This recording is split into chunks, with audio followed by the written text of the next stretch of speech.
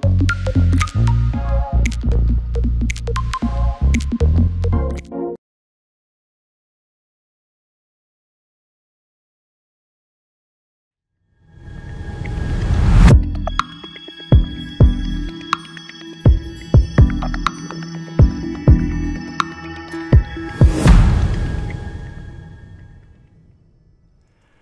Bonjour à tous et bienvenue sur boursicoté.com pour cette nouvelle analyse technique du CAC 40 en clôture avec encore une bien belle séance de hausse hein, avec notamment l'annonce de la société Moderna donc qui aurait euh, euh, aussi une proposition de vaccin avec un fort taux de, réussite. Et eh bien tout cela a provoqué une belle hausse durant cette journée sur une séance qui avait déjà ouvert sur un gap haussier.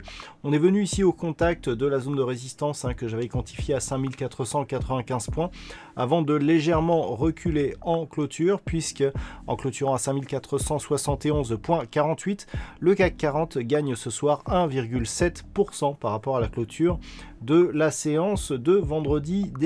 Donc on est vraiment ici sur une reprise du mouvement haussier.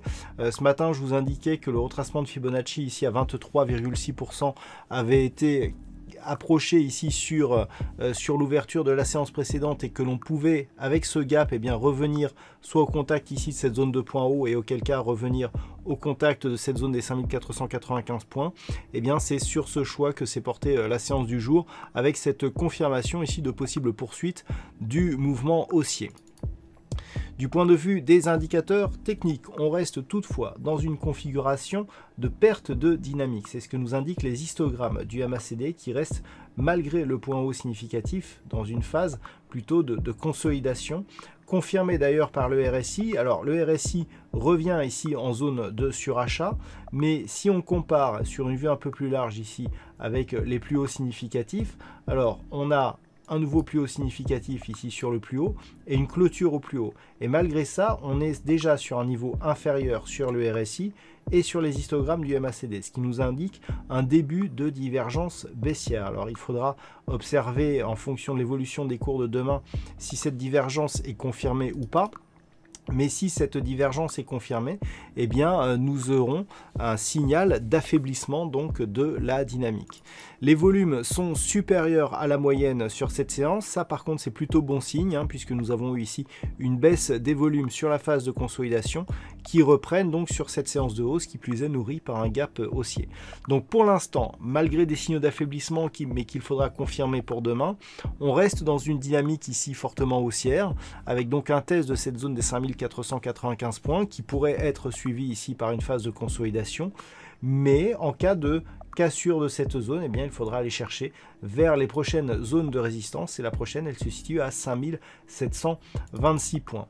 Toutefois, si les cours venaient à se mettre à consolider, donc on peut désormais effacer ici ce retracement de Fibonacci, eh bien on pourrait, au-delà de cette zone ici de support intermédiaire hein, que l'on peut situer ici sur la phase actuelle, voilà, sur ces niveaux ici proches des 5340 points. Alors on a une zone ici intermédiaire là aussi à 5420, on la voit bien hein, ici cette zone qui a été euh, ici résistance puis support, résistance ici sur ces deux bougies qui a été support aujourd'hui.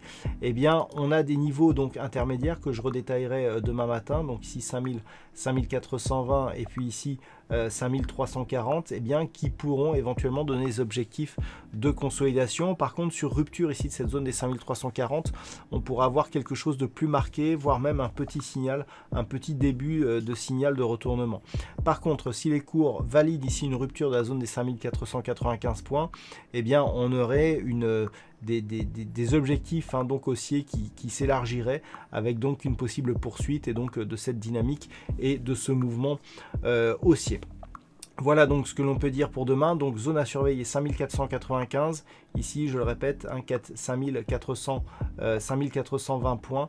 Et ici, 5340 points. D'un point de vue statistique, on est sur une probabilité qui reste haussière pour demain. La statistique du jour, hein, donc elle a été, euh, validée. Euh, pour demain, on est sur une probabilité qui reste haussière, ainsi que les jours suivants. Et euh, le, pourcentage donc d'évolution sur une dynamique haussière eh bien, est quantifié à 56% de probabilité par rapport au niveau d'ouverture. Tout cela étant basé sur une observation d'évolution en fonction de configurations similaires. Ce ne sont que des évaluations statistiques. Voilà donc ce que l'on peut dire sur cette euh, configuration pour ce soir. Passez une bonne soirée. On se retrouve donc dès demain pour d'autres analyses techniques, toujours sur le site boursicoté.com.